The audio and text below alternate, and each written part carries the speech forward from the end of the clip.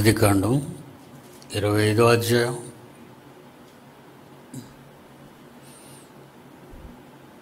ఇరవై ఒకటో వచనం నుంచి ఇరవై మూడో వచనం వరకు. ఇరవై ఒకటో వచనం నుంచి ఇరవై మూడో వచనం వరకు. అబ్రహాము కుమారుడైన ఇస్సాకు భార్య పిల్లలు కనలేదు అప్పటికి కనుక గొడ్రాలుగా ఉంది. అప్పటికి కనుక అతడు ఆమె విషయమై యెహోవాను వేడుకొనెను. తండ్రిని వేడుకున్నారు. యెహోవా అతని ప్రార్థన వినెను గనుక. తండ్రి ఆయన ప్రార్థన ఇస్సాకు ప్రార్థన విన్నాడు కనుక అతని భార్య అయిన రిబ్కా అతని భార్య అయిన రిబ్కా గర్భవతి ఆయను గర్భవతి ఆయను ఆమె గర్భములో శిశువులు ఆమె గర్భములో శిశువులు ఒకనితోనొకడు పెనుగులాడిరి గనుక ఒకరితో ఒకరు పెనుగులాడిరి.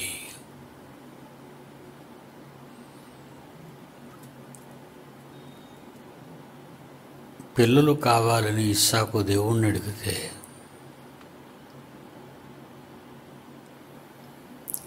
ఇద్దరు పిల్లల్ని దేవుడు రిబ్కా గర్భంలో ఉంచాడు. పంపాడు.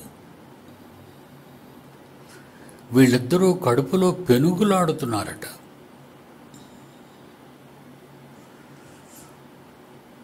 పెనుగులాడడం అంటే కుస్తీ.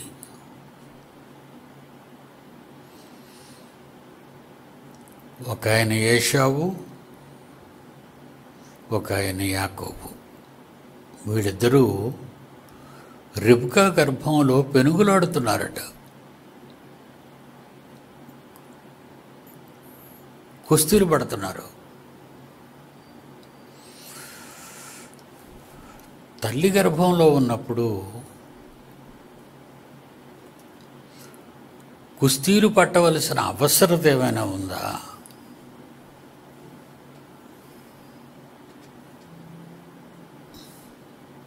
అడిగి ఎవరికి ఇలాంటి విషయాలు తెలియవండి. ఎవరికి ఇలాంటి విషయాలు అర్థం కావు కూడా. ఏం కావాలని పోటీ పడుతున్నారు? ఏం చూడాలని పోటీ పడుతున్నారు?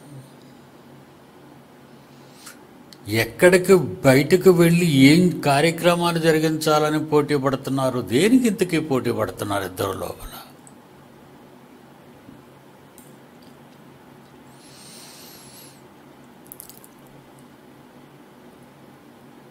కిందకి వెళ్ళేసరికి దేవుడే చెప్తున్నాడు. అప్పుడు యెహోవా ఆమెతో ఇట్లా నేను ఈ విషయం రెబక ఆలోచించింది. ఏంటి కడుపులో వీళ్ళిద్దరు గందరగోళం చేస్తున్నారు అని.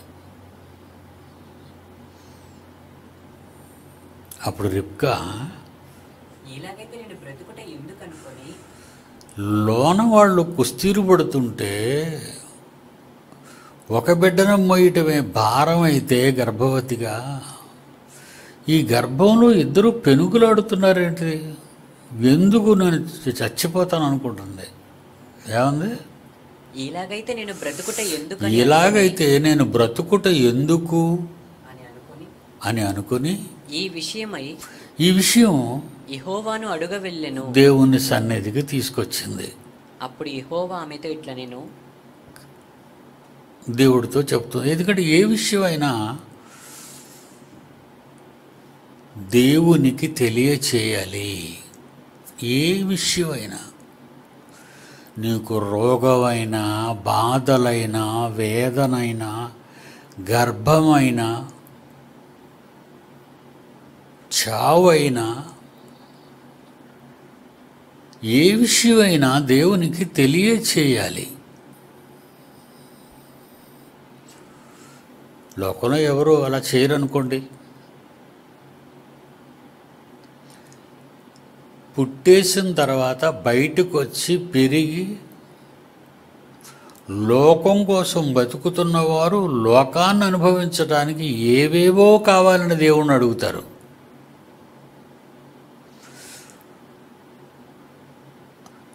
గర్భవతులు దేవుణ్ణి ఏమి అడుగుతారు? గర్భవతులు దేవుణ్ణి ఏమడుగుతారు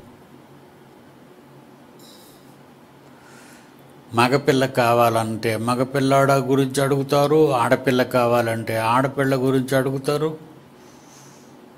పుట్టిన తర్వాత వాళ్ళని లోకం కోసం పెంచుతారు. అంతే కదండి? పుట్టిన తర్వాత వాళ్ళని ఏ కాలేజీలో వేయాలి? ఏ డిగ్రీ చదివించాలి? ఏ డిగ్రీ చదివిస్తే గొప్ప ఉద్యోగాలు వస్తాయి? ఏ ఉద్యోగాల్లో జరిగితే ఎక్కువ డబ్బు వస్తుంది? ఇది కదండి తల్లిదండ్రుల ఆలోచనలు. ఆలోచించండి మీరు.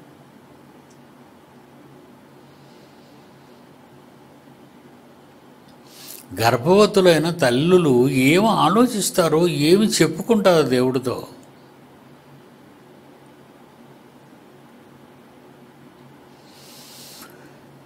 పిల్లలు పెద్దోళ్ళు అయ్యారు కనుక పెళ్ళి చేయాలి పెళ్ళి చేయాలి కనుక గర్భవతులు అవుతారు గర్భవతులు అవుతారు కనుక పిల్లగంటారు పిల్లలుగంటారు కనుక చదివించుకుంటారు చదివించుకుంటారు కనుక పెద్దవాళ్ళు. ఇది ఈ ఆలోచనలు తప్ప ఈరోజు భూమి మీద ఉన్న మనుష్యులలో తమ పిల్లల గురించి ఏం ఆలోచనలు కలిగి దేవుణ్ణి అడుగుతున్నారు?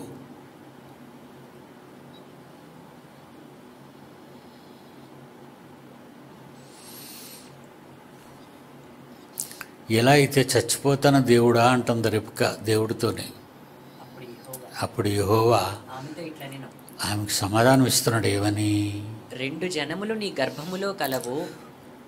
అమ్మా ఆకాశ నక్షత్రాలు లెక్క పెట్టలేనన్ని ఉంటే అలాంటి రెండు జనాంగాలు నీ గర్భంలో నుంచి బయటకు వస్తున్నాయి. భరించవా? భరించవా నువ్వు?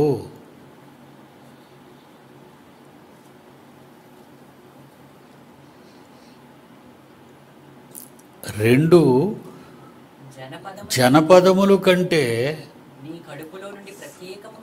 నీ కడుపులో నుండి ప్రత్యేకముగా రెండు వస్తాయి. ఒక జనప జనపదము కంటే ఒక జనపదము బలిష్టమై ఉండును. ఒక జనపదము బలిష్టంగా ఉంటుంది. పెద్దవాడు చిన్నవానికి పెద్దవాడు చిన్నవానికి దాసుడవుతాడు. నీకిద్దరు కొడుకులు. అంటే వాళ్ళిద్దరి నుండి రెండు జనాంగాలు. ఈ రెండు జనాంగాల్లో ఒక జనాంగం పెద్దది. యాషావు యాకోబు.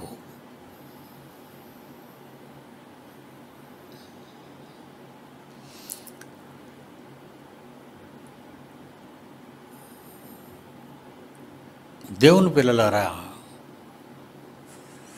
అబ్రహాముని కానీ ఇస్సాకును కానీ రిబకా భర్తను కానీ వాళ్ళిద్దరితో దేవుడు చేసిన వాగ్దానం అదే. ఆదికాండం ఇరవై రెండో అధ్యాయంలో పదిహేడవ పదిహేడు వచ్చడం ఆదికాండం ఇరవై రెండో అధ్యాయంలో పదిహేడవ. పదిహేడు వచ్చడం యహోవా దోత రెండవ మారు పరలోకము నుండి అబ్రహామును పిలిచి ఏమంటుందో తెలుసా? నీవు నీకు ఒక్కడే అయ్యి ఉన్న నీవు నీకు ఒక్కడై ఉన్నా నీ కుమారుని ఇయ్య వెనుక తీయలేదు. నీ కుమారుడైన ఇస్సాకును నాకు బలి ఇవ్వటానికి వెనుకాడలేదు గనుక. ఈ కార్యమును చేసినందున నేను నిన్ను ఆశీర్వదించి నీకు ఒకే ఒక కొడుకుని నేను నిన్ను అడిగాను నువ్వు ఏమాత్రం అడ్డు చెప్పకుండా బలివ్వటానికి తీసుకొచ్చేసావు ఎంత మంచి మనస్సు అనేది అంటే ఎంతమందిని దేవుడు తన పేర గర్భ గర్భము నుండి వచ్చిన పిల్లలను అడుగుతాడు అని మనం ప్రశ్నించుకుంటే అబ్రహాము గారిని మాత్రమే అడుగుతాడని మీరు అనుకుంటే పొరపాటు.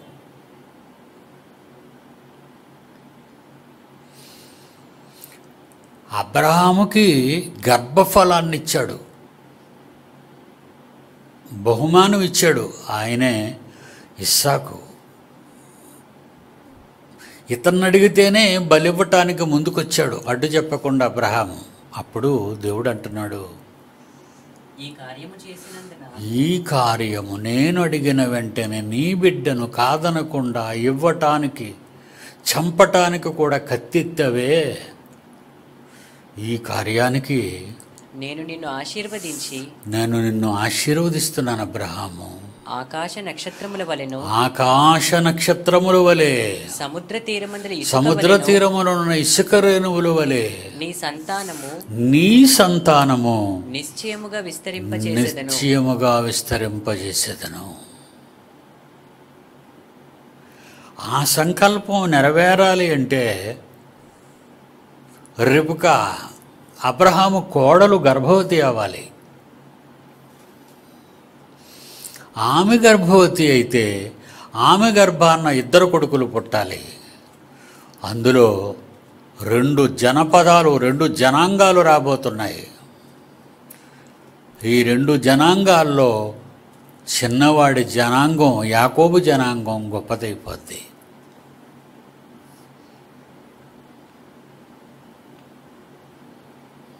దేవుని పిల్లలారా ప్రతి గర్భవతిని ప్రతి గర్భము చేసిన భర్తని భార్యకు గర్భవతిని చేసిన భర్తని తల్లిని తండ్రిని దేవుడు నీ గర్భఫలములు అడుగుతున్నాడు. నువ్వు ఎవరి కోసం కంటున్నావు? దేశాన్ని ఉద్ధరించటానికి కాదు పిల్లల కనటం. లోకంలో ఉన్న పిచ్చి జ్ఞానాన్ని పిచ్చి జ్ఞానాన్ని నేర్పించటానికి కాదు నువ్వు బిడ్డలను కనటం. ఉద్యోగాలు చేసి డబ్బులు సంపాదించి మేడల మిద్దెలు కట్టి విదేశాల్లో సెటిల్ అవ్వడానికి కాదు నువ్వు బిడ్డలను కనటం. నా కోసం కనాలి. పిల్లలు నాకు కావాలి. మీకు కావాలని పిల్లలు నేను ఇవ్వలేదు.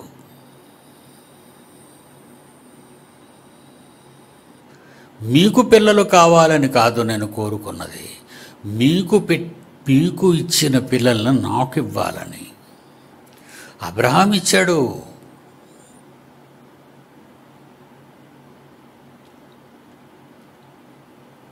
గలతి పత్రికలో అపోస్తులని పౌలు ఒకటో అధ్యాయం పదిహేను వచ్చిన ఒకసారి చదవండి. పిల్లలను కన్న తల్లిదండ్రులైన నిజమైన క్రైస్తవులారా? యేసు ప్రభు పుట్టాడని నువ్వు సంతోషపడ్డానికి సిద్ధపడిపోతున్నారు చాలామంది.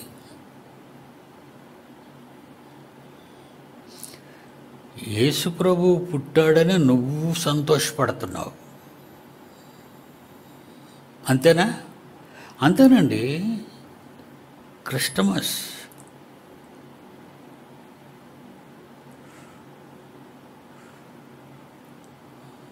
యేసు ప్రభు మరే గర్భాన్ని ఎందుకు పుట్టాడు?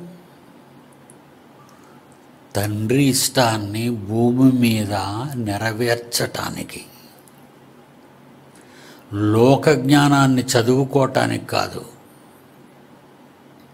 ఉద్యోగాలు చెయ్యటానికి కాదు.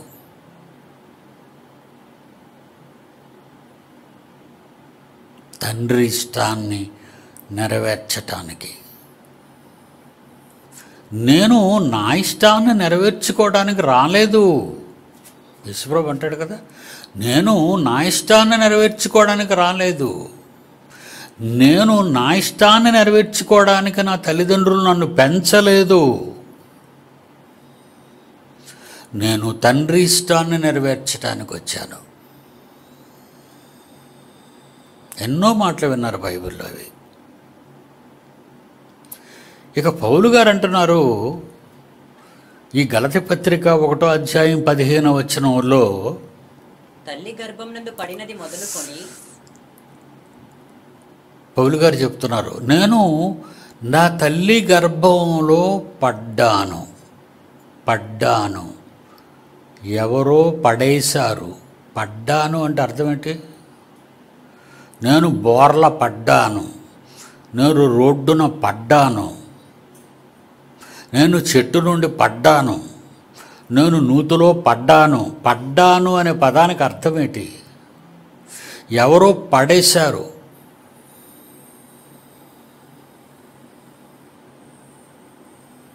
ఎవరు పడేశారు? దేవుడు. మీ ఆయన పడేయటం కాదు నీ గర్భంలో. మీసాలు తెప్పకండి మగాళ్ళు. మీరు పడేయలేదు మీ భార్యకి గర్భంలో బిడ్డల్ని. మీ వలన పడ్డారు అనుకోకండి. దేవుని వలన మీ ద్వారా పడ్డారు. అది ప- కరెక్ట్ ఆన్సర్.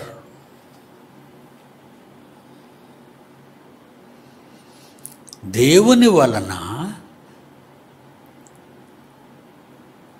మగవాళ్ళ గర్భాలలో పడితే వాళ్ళు భార్యను కూడినప్పుడు దేవుని వలన పడిన ఆ బిడ్డ తల్లి గర్భంలోకి వెళ్తాడు వెళ్తుంది.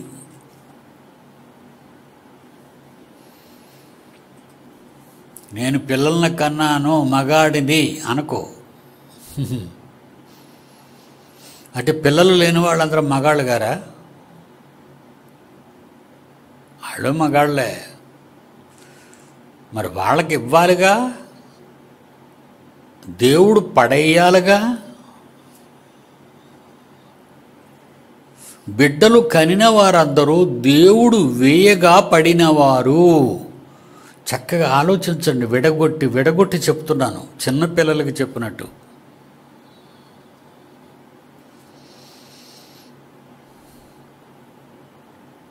సరిగ్గా పాఠాలు చెప్పకే బడిలో పిల్లలకి పాఠాలు అర్థం కావు. ఏదో వాళ్ళ టైం ముగించుకొని ఆ పాఠం చెప్పి పోతాడు అంతే టీచరు. అలాంటిది కాదు ఇక్కడ జరుగుతున్న విద్యాభ్యాసం పెద్దలకి పిన్నలకి.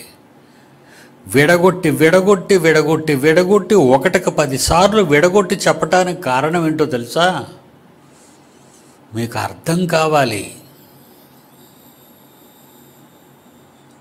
పౌలు అంటున్నాడు తల్లి గర్భమునందు నేను పడినది మొదలుకొని నన్ను ప్రత్యేక నన్ను ప్రత్యేకపరచి తల్లి గర్భంలో పడ్డాను నన్ను ప్రత్యేకించాడు దేనికి? పెళ్ళి చేసుకోరా పిల్లల కనరా ఆడబడులు వేయరా చదివించరా గొప్ప ఉద్యోగాలు చేయించరా విదేశాల్లో సెటిల్ చేయరా నువ్వు అనాది ఆశ్రమంలో చేరరా అని కాదు.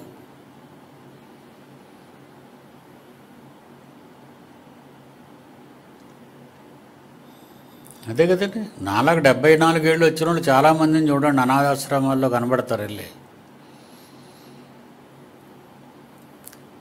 ఏరయ్యా నీ పిల్లలంటే బాబు ఏం చెప్పమంటావు? మాట్లాడటం కూడా రాదు కదా వాళ్ళకి. వాళ్ళు విదేశాలకు వెళ్ళిపోయాడు భార్యను పిల్లలు తీసుకొని. మమ్మల్ని స్వనే స్వదేశంలో అనాథాశ్రమంలో పడేశాడు.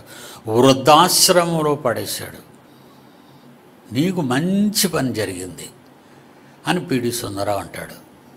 నీకు అలాగే జరగాలి నీ పెళ్ళి అలాగే జరగాలి. కళ్ళు నెత్తికొచ్చి పొగరెక్కివై ఒళ్ళు కొవ్వి దేవుని మాటలు వినక పనికి మాలిన ఏడలు అడ్వర్టైజ్మెంట్లు చూసి ఓ పిల్లల్ని ఐఏఎస్లు ఐపీఎస్లు చేసేద్దాం అనుకొని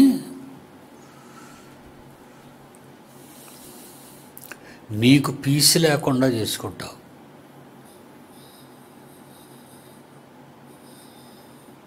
అవునా? నన్ను దేవుడు ఏం చేశాడు? తల్లి గర్భమునందు పడినది మొదలుకొని నన్ను ప్రత్యేకపరచి. తన కృపచేత నన్ను నన్ను పిలిచాడు. నువ్వెందుకు పుట్టావో తెలుసు నాయనా. నిన్నెందుకు తల్లి గర్భంలో పడేశానో తెలుసు నాయనా. అన్యజనులు లోకములో దేవుడు తెలియని అన్య జనాంగాలు వాళ్ళకు నువ్వు తన కుమారుడైన క్రీస్తు యేసు త్యాగం యేసును పంపటంలో దేవుని ఉద్దేశం అవన్నీ చెప్పాలి క్రిస్మస్ పండగ చేయటానికి కాదురా. నీ దీపాలు నీ చెట్లు రేపుడుగా దిగిపోతారు పండగకే జనం. ఇవాళ రాత్రి నుంచే సిద్ధపడిపోతారు చాలామంది. మనవాళ్ళు కూడా సామాన్యులు కదండి ఇలా మెత్తగా ఉంటారు కానీ హ్యాపీ క్రిస్టమస్ ఆయన పుట్టాడు హ్యాపీ నిజమే. నువ్వు పుట్టావు అన్హ్యాపీ చీడ దరిద్రం చండాలం. నీ చండాలం గురించి నువ్వు ఆలోచించకు. ఆలోచించవు. Happy Christmas. సంతోషపడుతున్నావా? ఏం చేస్తావు? తాగుతావు గొంతుమయ్య తింటావు కొండలాగా కడుపు పెంచుతావు దున్నపోతలా మంచం మీద పడుకుంటావు. అయిపోయింది పండగ. ఎవడ దగ్గర ఏమి నొక్కేద్దాము ఎన్ని అబద్ధాలు ఆడదాము ఎంతమందిని మోసం చేద్దాము? ఇదేనా మాయ? హ్యాపీ క్రిస్టమస్ ఎందుకు వచ్చింది? యేసు ఎందుకు పుట్టాడో నిన్ను జ్ఞాపకం చేసుకోమన్నాడు. యేసు ఎందుకు పుట్టాడో నిన్ను జ్ఞాపకం చేసుకోమన్నాడు. పౌలు ఎందుకు పుట్టాడు? తల్లి గర్భమునందు పడినది మొదలుకొని నన్ను ప్రత్యేకించి తన కృపచేత నన్ను పిలిచిన దేవుడు తన కృపచేత నేను పుట్టిన తర్వాత పిలిచి అన్యజనులకెళ్ళి తండ్రి యేసుక్రీస్తును లోకానికి ఎందుకు పంపాడో ఆయన ఎందుకు పుట్టాడో ఎందుకు చచ్చిపోయాడో ఈ మధ్య జీవితకాలంలో ఆయన ఏవి చేశాడో ఎవరి పనిలో ఉన్నాడో అవి చెప్పమని. సువార్త. సువార్త. నిజంగా మన చర్చిలో ఆడపిల్లలు నిజంగా అండి పెద్దవాళ్ళు కూడా అండి. మొన్న పెందుర్తి పరిసర ప్రాంతాల్లోకి వెళ్ళి కరపత్రాలు పంచి వెరుగుడు తల్లులారా దేవుడు మిమ్మల్ని దీవిస్తాడు. దీవించాలి. మీరు అందుకే పుట్టారు?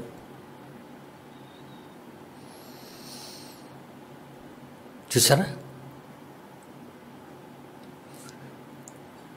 నాలుగైదు నెల రోజులు బట్టి తి- తిరుగుతారండి. నెల రోజులు బట్టి ఈ ఫోటోలు ఇలా ఉంచండి. నెల రోజులు బట్టి తిరుగుతుంటారు.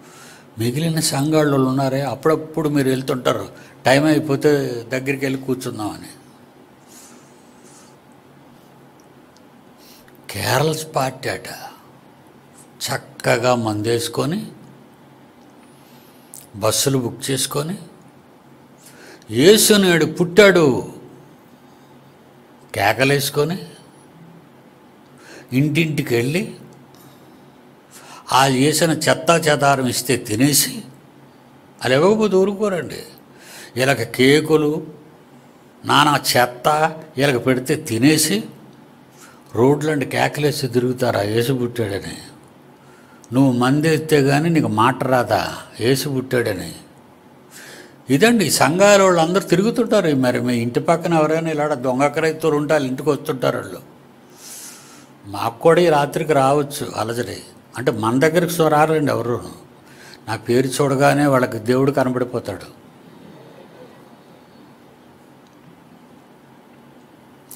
నా పిల్లలు అంటాడు నా పిల్లలు ఏసు పుట్టాడని చెప్పటానికి వెళ్ళలేదండి. ఏసు ఎందుకు పుట్టాడో చెప్పడానికి వెళ్ళారు. ఏసు ఎందుకు మరణించాడో చెప్పటానికి వెళ్ళారు.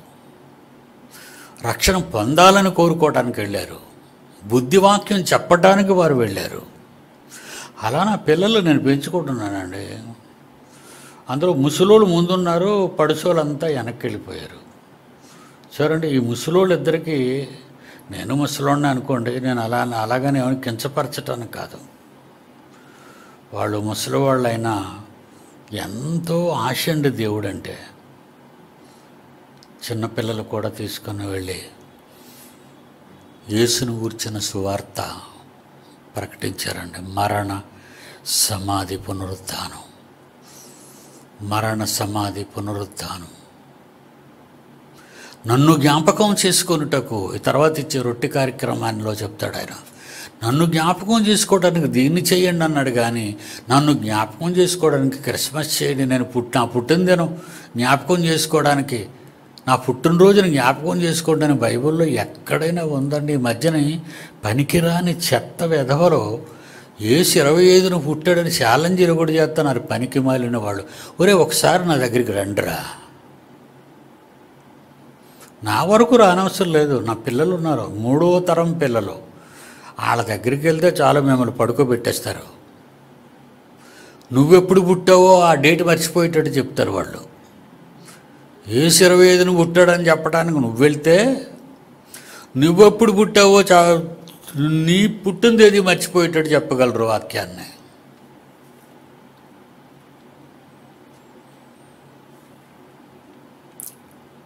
ఇర్మియా గారితో అంటున్నాడు ఇర్మియా గారితో ఇర్మియా గారితో. ఒకటో అధ్యాయం ఐదో వచ్చిన ఇర్మియా గారు అంటున్నారు ఇర్మియా గారితో చెప్తున్నాడు దేవుడు. గర్భములో నేను నిన్ను గర్భములో నేను నిన్ను రూపింపక మునుపే. అంటే తండ్రి గర్భంలో నుండి శుక్ర కణము తల్లి దగ్గర అండం దగ్గరికి వెళ్ళలేదు. అది దాని అర్థం. సైంటిఫిక్ పాయింట్ అది. తండ్రి గర్భంలో నుండి శుక్ర కణాలు తల్లి గర్భంలో ఉన్న అండాశయాన్ని కలవటానికి వెళ్ళలేదు అంటే అమ్మకు అండం విడుదలవ్వాలి తండ్రికి శుక్రకణం విడుదలవ్వాలి. ఇవన్నీ మీరేం చేయలేరు.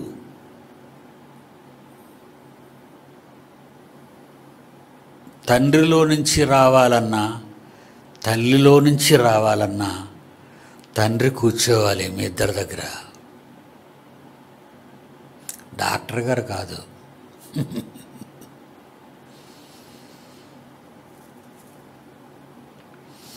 వచ్చిన కణాలని వచ్చిన అండాన్ని తీసి టెస్ట్ ట్యూబ్లో నిన్ను బేబీని చేయటం కాదు. వాళ్ళు బేబీలు అవ్వడానికే వస్తున్నారు. తండ్రి తల్లి గర్భంలో నిన్ను రూపించాలనుకుంటే నువ్వెక్కడ రూపిస్తున్నావు బాడీని? టెస్ట్ ట్యూబ్లోను ఈ మధ్యన కొత్త పేరు వచ్చింది దానికి. సరోగతి. సినిమా యాక్టర్లు వాళ్ళ గ్లామర్ పోద్దని అండాన్ని తీసి తన భర్త శుక్రకణంతో కలిపి ఈ సరోగతి అనే కార్యక్రమాన్ని ఈరోజు చేస్తున్నారు. ఎందుకంటే తల్లి గ్లామర్ పోద్దట? పాలివ్వని తల్లులున్నారు. గర్భధారణ జరిగించుకోలేని తల్లులున్నారు. ఎవరండి వీళ్ళు? వీళ్ళకి ఏమైనా మతి చెడిందా? ఎక్కడ రూపించాలన్నాడు దేవుడు? బైబిల్లో ఎక్కడ రూపం పొందాలని నువ్వు నీకు నీకు రాశాడు? నేను గా నే- ఆమె క్షమించండి. గర్భములో నేను నిన్ను గర్భములో ఇరవై ఒకటి ఐదు గర్భములో నేను నిన్ను రూపిస్తాను. అని దేవుడంటే నువ్వు ఏమీ రూపించొద్దు. మేము రూపించుకుంటాము. వాళ్ళందరికీ ఒక అడ్డ ఒక అడ్వాన్స్ హెచ్చరికిస్తున్నానండి. వాళ్ళు పుట్టి ఎంతవరకు బ్రతుకుతారో నీకు తెలీదు డ్యామేజ్ అయిపోతారు వాళ్ళు.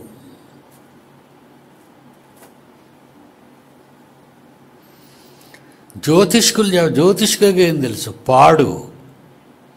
పాడుగాళ్ళు వాళ్ళంతా మోసగాళ్ళు.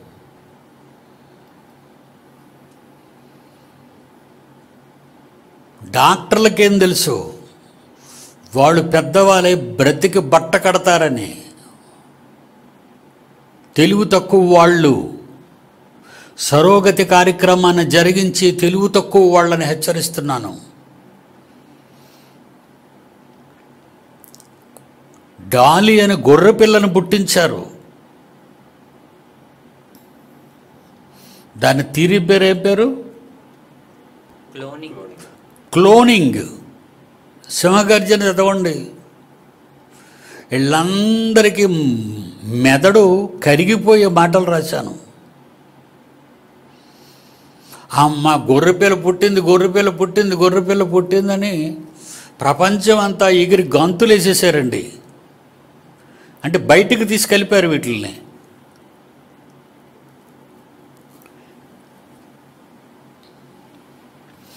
గొర్రెపిల్ల చచ్చిపోయింది. ఇది వాళ్ళకి పాఠం. Failure of the cloning. ఇప్పుడు సరోగతి మనుషుల మధ్య జరిగిస్తున్నారు ఇప్పుడు. ఆ రోజుల్లో క్లోనింగ్ మనుషుల మధ్య కూడా జరిగించారు. వాళ్ళు జైలుకు పోయారు. వాళ్ళు జైలుకు పోయారు. ఏ దేశస్థుడు జైలుకు పోయాడు? ఎంతకాలం జైలు పడింది? ఎలా ఫెయిల్యూర్ అయ్యారు? సింహగర్జన ఇంగ్లీషు తెలుగు తమిళు హిందీ అన్ని భాషల్లో ఉంది. ప్రపంచ బుద్ధిహీనులకు బుద్ధి కలగాలని రాశాను ఆ పుస్తకం. సకల శాస్త్రాలకు అధిగమించినది బైబుల్ అనే టైటిల్ పెట్టి రాశాను ఆ పుస్తకాన్ని. చాలా పెద్ద పుస్తకం. ఒకసారి చదివి చూడండి. సరోగతి చివరికి అధోగతి పాలవుతుంది. సినిమా యాక్టర్లలారా అందరికి హెచ్చరిస్తున్నాను. మీ సోకులు మీ అందాలు పాడైపోతాయని మీ పిల్లలకు పాలియక మీ పిల్లలకు మీ పిల్లలకు గర్భం ఇవ్వక మీరు బయటకు తీసి పెంచాలనుకుంటే పోతారర్రా వాళ్ళు వాళ్ళు పోతారు.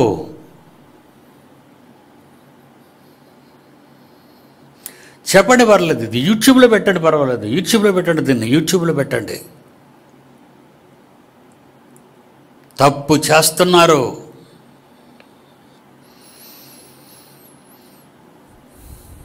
ఏమన్నాడు ఇరిమియా? గర్భములో నేను నిన్ను రూపింపక మునుపే నిన్ను ఎరిగి తిని పుడితే గాని మొహం చూస్తే గాని తెలియని అభాగ్యులు మీరు. పుట్టకుండానే గర్భంలోకి రాక ముందే ఎరిగిన తండ్రి అయిన ఆయనకి మీకు తేడా లేదా? నరమాతృలు ఒక తిండిపోతే ఎలా చచ్చిపోయాడు క్లిప్ వేస్తాడు రాత్రి వేయించాను. ఒక తిండిపోతు ఎలా ఇంట్లో వండుకొని తినలేక నానా గడ్డి తిని హోటల్లో మరిగి బర్గర్లు కేఎఫ్సీలు చెత్త చెదారాలు తిని అదిగో హోటల్కి ఆర్డర్ ఇచ్చి కుటుంబం అంతా వచ్చి అదిగో ప్లేట్లో మూతెడుతున్నాడు చూడండి. అయిపోయాడు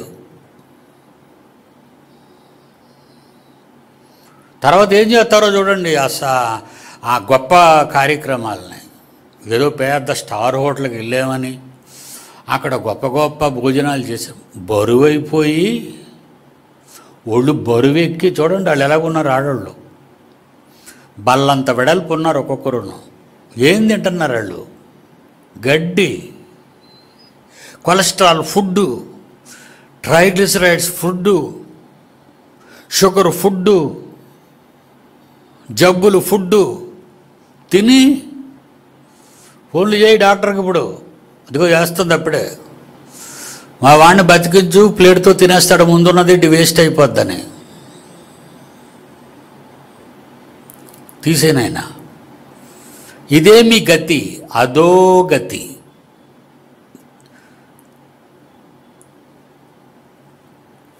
దాని పేరు ఏం పేర్రా సరో సరోగసి సరోగతి గసి సరోగసి అధోగతి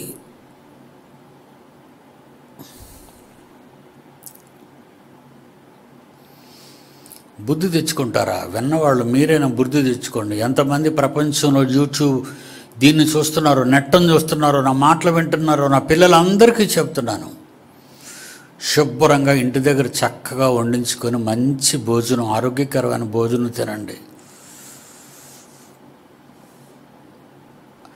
గడ్డి తినడానికి పశువుల మైదానాలకు వెళ్తాయి పశువులైతే నువ్వైతే హోటళ్ళకి వెళ్తావు ఇది మైదానాలే. ఇది నువ్వు తినే మైదానాలు. ఆ గడ్డి తిని పశువులైనా బలంగా ఉంటాయి. మొక్క తినే మనిషివి మొక్కలైపోతావు. నీ గతంతే తిరోగతి చావేగతి గొయ్యేగతి మోతేగతి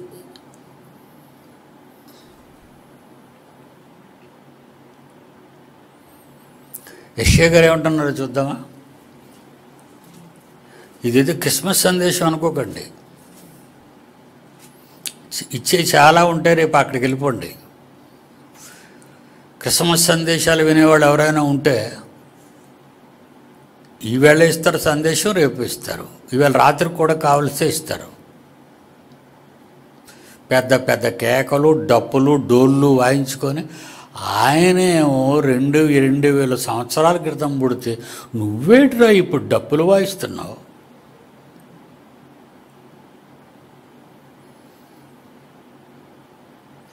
పుడితే డప్పులు నువ్వు చస్తే డప్పులు పుట్టినా డప్పులే దేవుడు పుట్టినా డప్పులే నువ్వు చచ్చినా డప్పులే ఈ మాత లేకపోతే నీకు ఊరేగింపుగా తీసుకెళ్ళడం అవదు.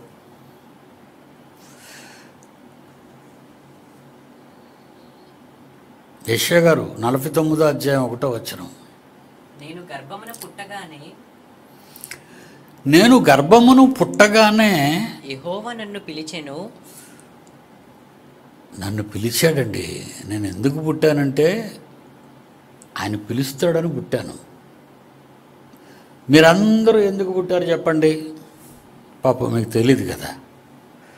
నాకు తెలుసు కదా మీకు తెలియదు పాపం. ఎందుకంటే మీకు చిన్న చిన్ననాటి నుండి ఇలాంటి మాటలు చెప్పేవాళ్ళు ప్రపంచంలో లేరండి.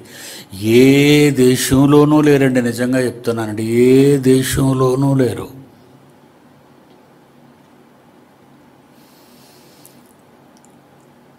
ఈ పుట్టుకు చావుల వెనకున్న ఆంతర్యాలు ఎరుగక ఒరే కిందటి జన్మలో చేసిన దానికి జన్మలో అనుభవిస్తున్నావురా.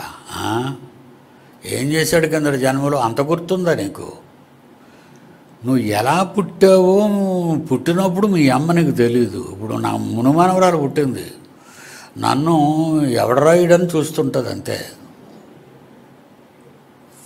వాళ్ళ అమ్మని అలాగే చూస్తుంది వాళ్ళ నాన్నని అలాగే చూస్తుంది వాళ్ళ తాతని అలాగే చూస్తుంది. కొంచెం నెలలు గడిచాక కొంచెం నిదానిస్తుందండి. ఈడు మాటి మాటికి నాకు కనబడుతున్నాడని. అప్పుడు వెనకాతల నుంచి ట్రాన్స్లేషన్ ఉంటుంది. తాత. అలా ఈ తాత పేత తాత పేత వినబడుతుంటే తాత అంటది. నీ పుట్టుకే నీకు తెలీదే. పుట్టిన తర్వాత వాడేదో అనుభవిస్తుంటే ఈ గర్భదరిద్రుడైన జ్యోతిష్యుడికి ఈడు అరిచేయి ఇచ్చి ఆ మడతలు చూసి ఆ గీతలు చూసి ముసలైపోతే చాలా మడతలు ఉన్నాయి నాకు. ఆ మడతలన్నిటికీ రేఖలు చెప్తావా నువ్వు? ఓరే దరిద్రుడా.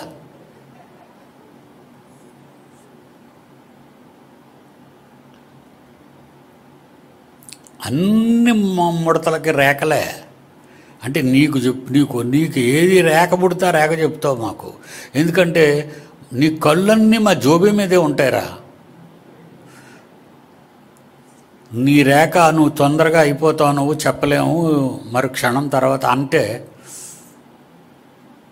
డబ్బులు ఇవ్వకుండా పరిగెట్టి పారిపోతా డాక్టర్ దగ్గరికి ఎందుకు చచ్చిపోతున్నావు అని. ఎవడు అలా చెప్పడు.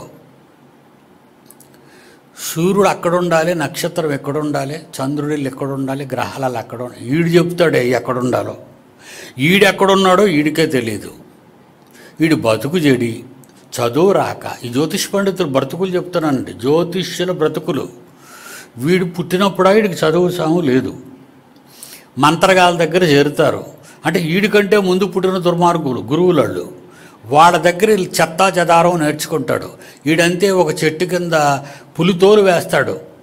ఆ పులితోలు మీద కమండలంతో కూర్చుంటాడు. భవిష్యత్తు చెప్తానంటాడు. మీ జాతకాలు చూపబడతాయంటాడు. మీ రాశులు చూపబడతాయంటాడు. మీ చక్రాలు. నీది ఏ రాశి సింహరాశ కన్యరాశి నీ మొఖం రాశి రా వెధవా. నీ మొహం రాశి. ఆకాశంలో కనబడితే ఆ రాసులు నాకు లింకెడతావేటరా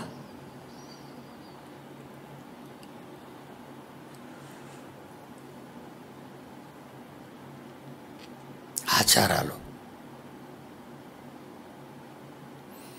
యెషయా అంటున్నాడు నేను గర్భమును పుట్టగానే యెహోవా నన్ను పిలిచెను. యెహోవా నన్ను యషియా. దానాన నలభై తొమ్మిది అధ్యాయం ఒకటో వచ్చిన అంటారా నా పని మీద పుట్టావు. రవి రా. అనసూయ రా. ఎవరు పిలుస్తున్నారు అనుకోకు దేవుడు. నువ్వు పుట్టగానే పిలిచాడు నీకు సరిగా వినబడలేదు. ఎప్పటి వరకు నీకు వినబడతాయో చెప్పమంటారు రహస్యం?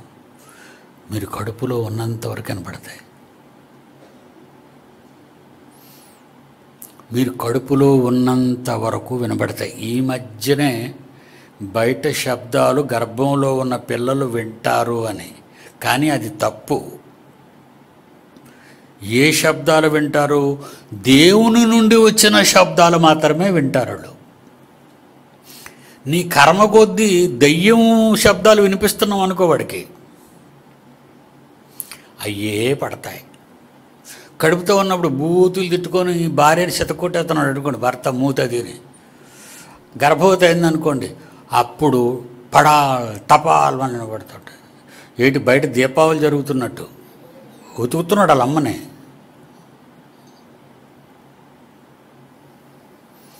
దేవుని మాటలు వినబడతాయా నీకు?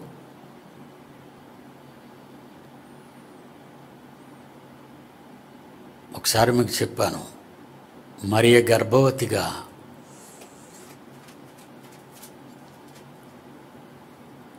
యోహాను తల్లి అయిన ఎలిజబెత్. ఎవరు? ఎలీసబెత్ దగ్గరికి వచ్చేటప్పుడు లుకాస్వార్త ఒకటి నలభై ఒకటి.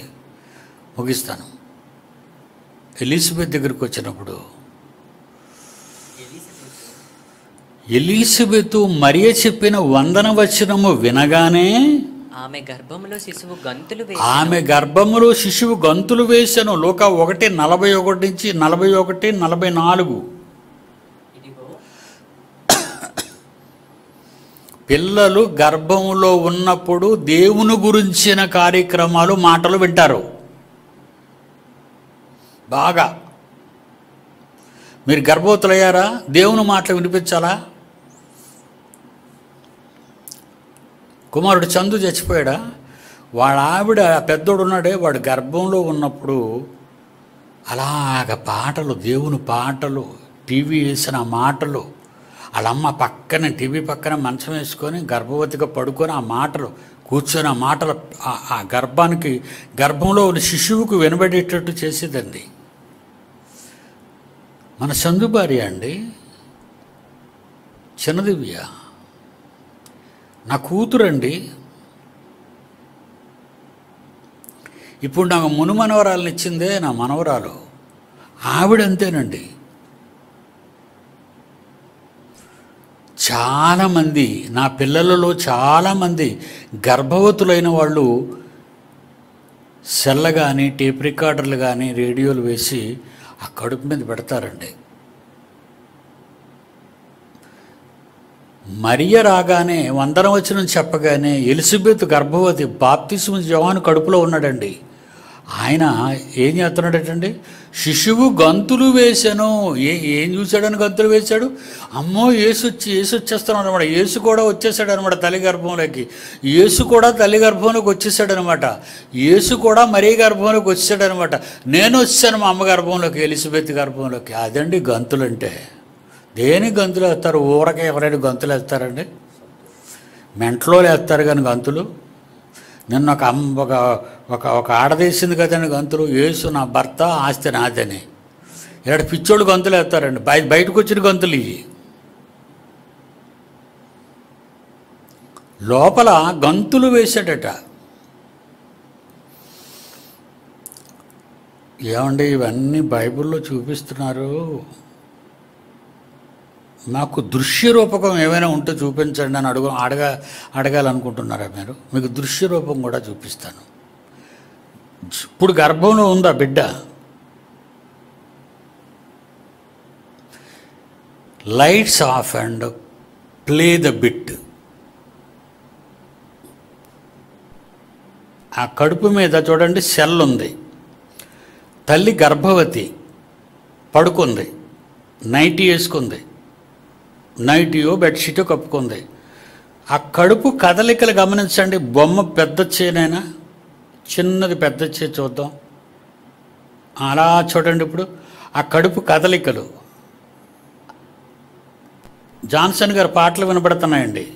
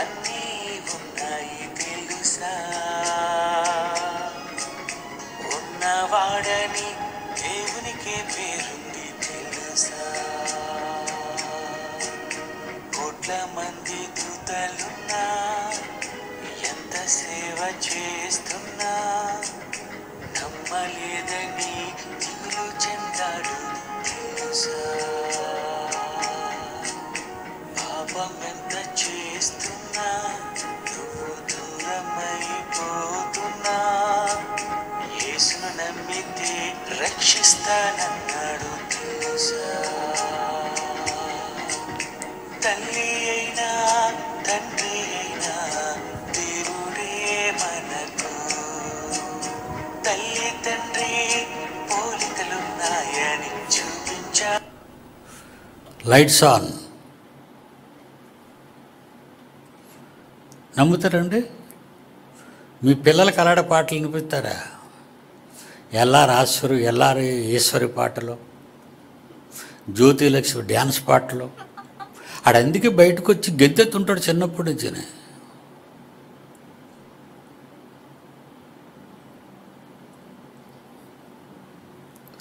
వినపడిందంటారా బేబీకి లోపల?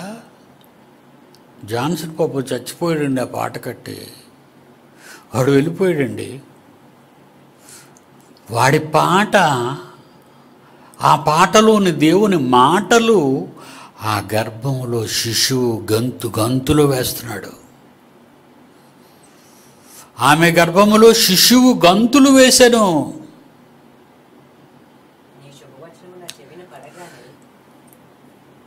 అమ్మా మరియా నీ శుభవచనం నా చెవిని పడగానే ఎలిసిబెత్ అంటుంది. నా గర్భములో శిశువు ఆనందముతో గంతులు వేశాను బైబిల్ చదవండి. పిడి సుందరు అబద్ధాలు చెప్పడు మాయలు చెప్పడు మోసాలు చేయుడు దగా చేయుడు. కట్టే కొట్టే తెచ్చే. వస్తావా రా చూసుకుందాం. లేదా పో. Is a challenger. Any doctor any scientist any intellectual not only in India around the world any country ఎప్పుడు సెవెంటీ ఫోర్ ఇయర్స్ ఇంకా సింహం గర్జిస్తూనే ఉంది. బైబిల్లో ఉన్నది తప్పంటావురా? ఈరోజు తెలుసుకున్నారా? ఈ శాస్త్రాలు ఈరోజు తెలుసుకున్నాయి ఇవన్నీ. ఎన్నో వేల సంవత్సరాల క్రితం రాయబడిన దివ్య గ్రంథంలోని మాటలు మీరు వింటున్నారు ఇప్పుడు.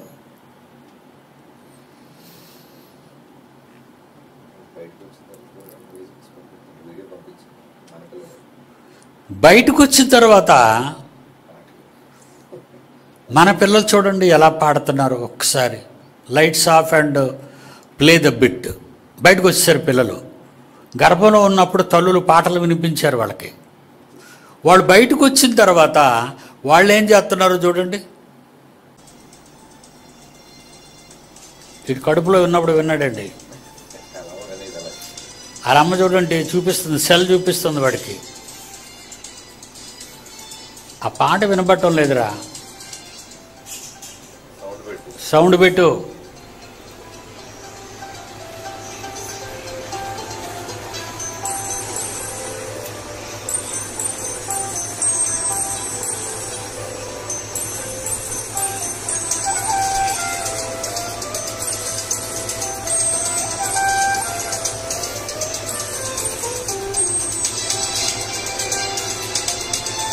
ఎలా నిదానించి చూస్తున్నాడు చూసారా?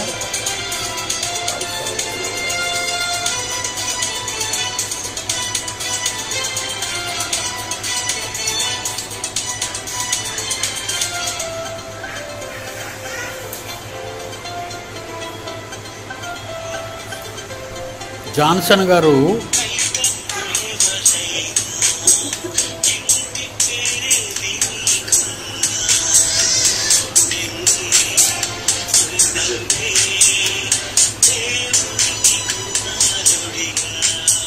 లైట్స్ ఆన్ కడుపులో ఉన్నప్పుడు నువ్వు జాగ్రత్తలు తీసుకుంటే బయటకు వచ్చి ఆ వయసు నుంచి వాళ్ళని జాగ్రత్తగా పెంచితే యష్యా అవుతాడు ఇరిమియా అవుతాడు పౌలు అవుతాడు అందరికంటే చివరివాడైన పీడి సుందర్రావు అవుతాడు.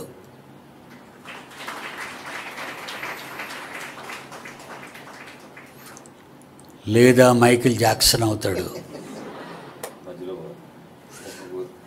ముక్కుపోయి ముక్కు పోయి బుగ్గలు పోయి ఎండిపోయి ఎండిపోయి గోతికిపోతాడు ఓకేనా? బాగుందా క్రిస్మస్ సందేశం? God bless you.